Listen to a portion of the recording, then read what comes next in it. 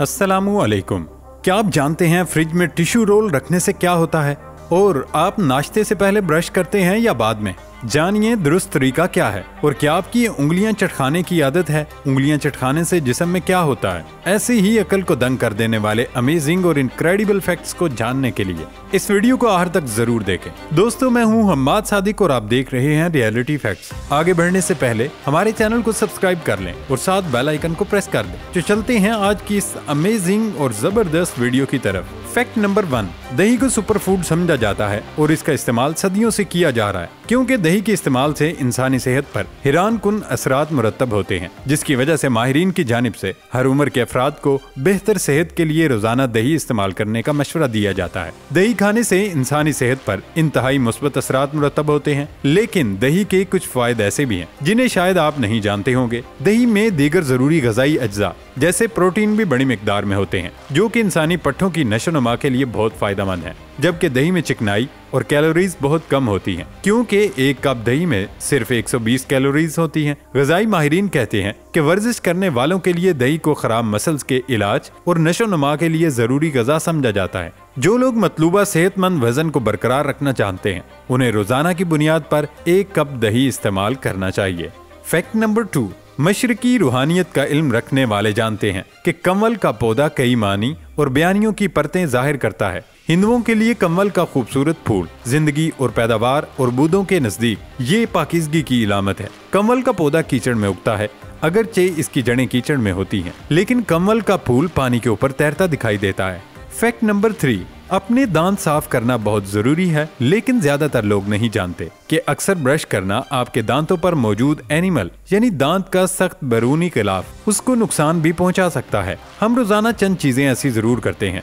जो हमारे दांतों की सेहत के लिए अच्छी नहीं होती। हमारे यहाँ अक्सर इस बात पर बहस जारी रही कि दांतों को ब्रश खाने या फिर बिलखसूस नाश्ते से पहले करना चाहिए। या बाद में ताहम अब अमेरिकन डेंटल एसोसिएशन के तिबी माहरीन ने इस बहस को किसी हद तक समेट दिया है। मामूल को बरकरार रखने के लिए बहुत से लोग हर दिन अपने दांतों को ब्रश करने के लिए एक खास वक्त तय करते हैं। आमतौर पर लोग हर सुबह जागने के बाद और सोने से पहले हर रात ब्रश करते हैं। लेकिन सवाल ये उठता है कि सुबह का ब्रश आपके नाश्ते से पहले या उसके बाद होना चाहिए? माहरीन का दावा है कि आपको नाश्ते से पहले हमेशा ब्रश करना चाहिए। फैक्ट नंबर फोर क्या आपको उंगलियाँ चटखाने की आदत है?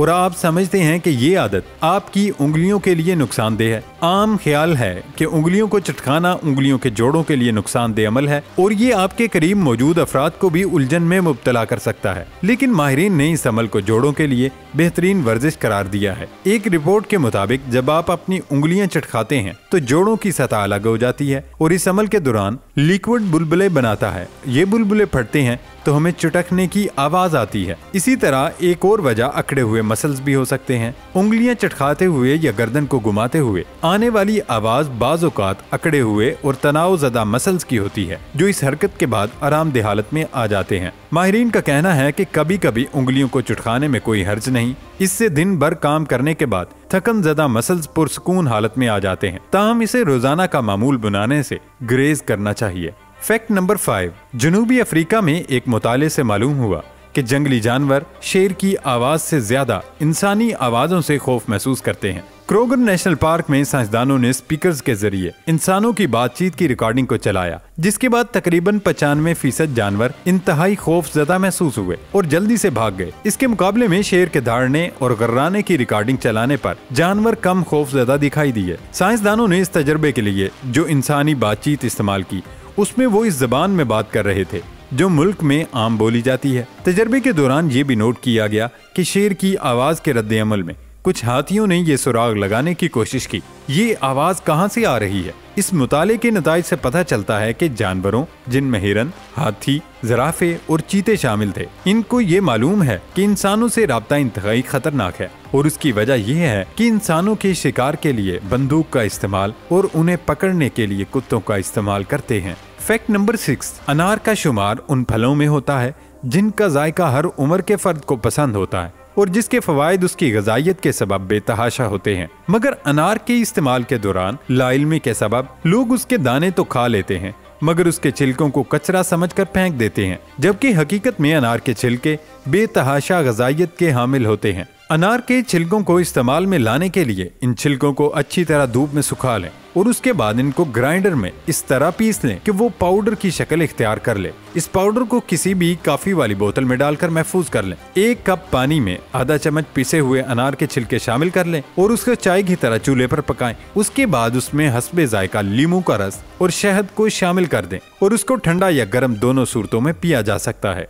फैक्ट नंबर सेवन फ्रिज आजकल हर घर की ज़रूरत है। इसके अलावा टिश्यू पेपर भी आम इस्तेमाल की चीज़ है। आज हम इन दोनों चीज़ों के हवाले से ऐसी ट्रिक बता रहे हैं, जो आपके काफ़ी काम आ सकती है, क्योंकि ये ट्रिक आपका कीमती वक्त और पैसे दोनों बचाएगी। एक टिश्यू रोल फ्रिज के ऊपर वाले खाने में रख दें, जहाँ आप सब्ज़ियाँ और फल वगैरह रखते हैं। इस टिश्यू रोल को चंद हफ्तों बाद तब्दील करते रहें। फ्रिज में टिश्यू रोल रखने का सबसे बड़ा फ़ायदा ये है कि इस तरह सब्जियों और फलों से निकलने वाली नमी टिश्यूज में जज्ब हो जाती है और वो जल्दी सड़ते नहीं। अगर आपके घर में सब्ज़ियाँ और फल फ्रिज में रखे रखे सड़ जाते हैं तो ये ट्रिक ज़रूर आजमाएँ।